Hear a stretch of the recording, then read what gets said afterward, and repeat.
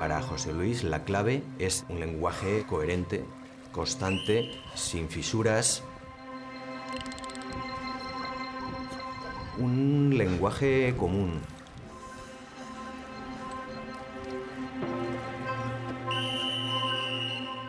El animal no tenía duda de lo que José Luis esperaba de ellos.